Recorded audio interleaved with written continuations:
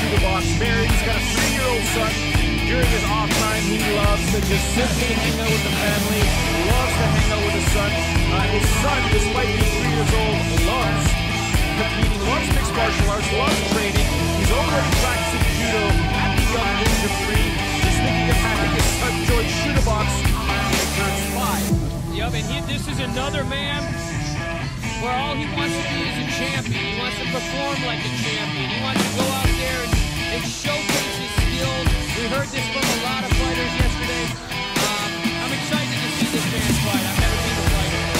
He's a bad man. Is a guy, you know, his parents both worked. He wanted him to stay occupied after school because he could get himself in a lot of trouble. He started jiu-jitsu at six years old.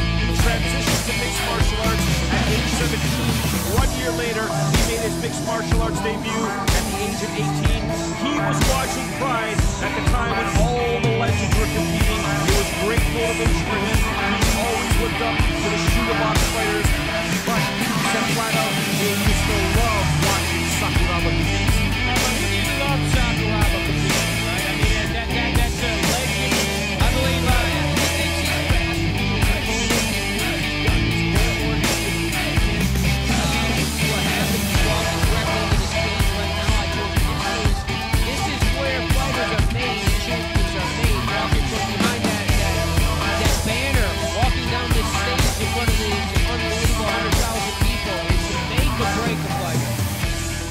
those that have never seen him compete, he says, look, I'm a very aggressive fighter. I inherited the Chute Boxe way.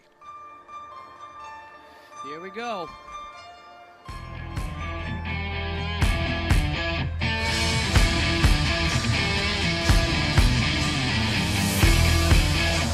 Vicente's opponent tonight, Vadim Nemkov, a protege of the great Fedor Emelianenko.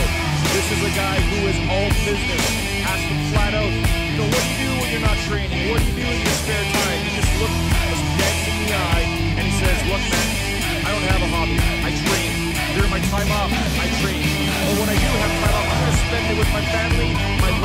And my 14-month-old daughter. She is finally starting to walk, uh, and she's beginning to talk. That is my priority.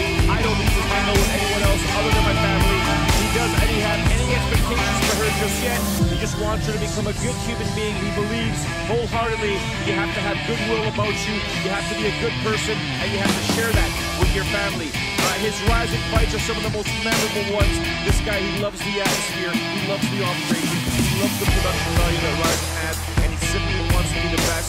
He wants to make fighting take it to a different lifestyle for him. He wants to make ensure fighting can make him and his family comfortable. All of his wins have come by KO or submission in the first round. Let's not forget, he is a three-time national and 2014 World Combat Sambo Champion, and this is the belt he is trying to add to his. And this is another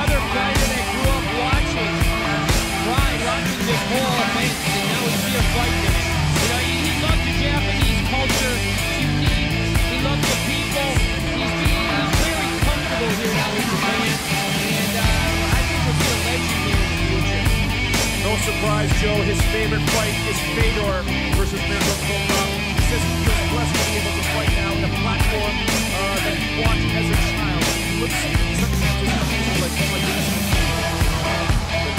Knows full well this is all about business. He has the opportunity, despite the fact that this is an open weight tournament reserve bout, he does have the opportunity. Take a look at how he stacks up against, against Alison Vicente. 24 years old. He's giving up three inches in height. He came in at 231 pounds. Vicente at 234.6 pounds. Vicente is obviously more experienced right. at 18 and 14. But let's not forget Vadim Nemkov, 6 and 2. This guy has experience competing in Japan, and tonight he will vie to some way, somehow get into that tournament. And this is our reserve bout. This is that swing bout that we talked about that one of these guys could ただいまより jump back in this 来週 tournament. 無差別級トーナメントリザーブマッチを行います 青コーナー191センチ106.3キロ。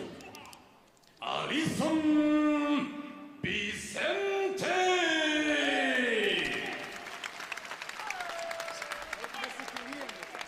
赤コーナー185センチ104.8キロ。ワジム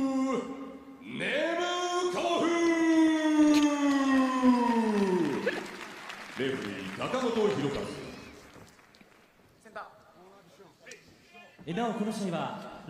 don't forget the tournament rules for here. Rizin. First round is five minutes, the second round also five minutes. If they cannot determine a winner, we go to a third round, which will only be judged in that manner. Kicks and knees to the head of a down opponent are definitely legal. What is not legal are elbows to the head.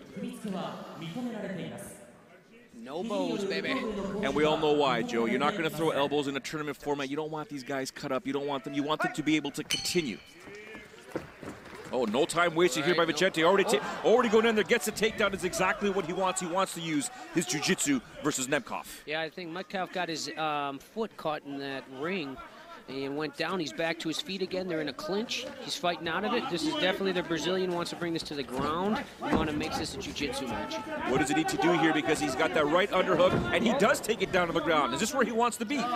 Yeah, well, I mean, it depends. I, you know, he's very good on top with his ground and pound, which we're seeing here. He's in a half, you know, he's full guard actually. So that overhand right is landing, Joe. He is landing thunderous punches from the inside the guard here. Got to be careful though. You cannot leave your arm extended there against a guy like Vicente. Yeah, this is this is right out of the Fedor page book. Oh, a beautiful two, three. He's out. He's out. He's what out, baby. This is exactly what Vadim Nemkov wanted to do in this tournament. Yeah, that's how you do it right there. You finish that fight quick. He's a reserve bout. Now he's nice and healthy and safe. He might be pulled back in this tournament. This is exactly what everybody in this tournament wants to do. Get in and get out as quickly as possible. I said it when the broadcast started. Vadim Nemkov is the guy we may want to pay attention to because if somebody gets injured, this guy is fresh. And I believe Fedor, his coach, is happy as heck at home right now. That was right out of, right out of the playbook. Right there, ground and pound, full guard. You don't see a lot of people get knocked out being in full guard with that overhand right. I mean, he, he has extreme power here. Look at And we saw Boom. that there with the beautiful right hand. First things first, we do want to make sure Alison Vicente is fine. We do have the paramedics inside the ring right now. He is breathing. We just want to make sure that he is conscious because those thunderous punches there that were landed were absolutely masterful by Nemkov. You see there the eyes rolling back in his head. We want to make sure that he is okay. They are lifting his neck up right now, ensuring that he is breathing properly. I can see it from our position, Joe. His chest cavity is breathing. He's perfectly fine. It's a matter of making sure he is conscious. Oh, there he is. He's there getting he up now. He's helping up. We should get him out of the cage here and move forward with this tournament. He's a bit dazed, obviously dazed and confused. Yeah, well, he knows what's up. He's got, he's having a hard time walking right now. Obviously, you get that when your your brain shuts down the way it is. Hopefully, he makes it down the stairs. But Nemkov, what a performance here by Vadim Nemkov. No doubt making Fedor and Team Fedor proud as this guy here now Right. is going to stand by potentially, Joe, competing in two days, competing potentially in the tournament. He'll be paying close attention to exactly what is happening. But thankfully, Alison Vicente is perfectly fine as he walks by our broadcast table. But tonight, it's all about Nemkov. Right now, he's going to get back to the room. He's going to relax. He's going to make sure he's going to likely going to want to ice his hands, Joe, ice his knuckles. Yeah, I, I believe he can ice his knuckles or just go rest. I believe that that was exactly what his coaches wanted. He wanted a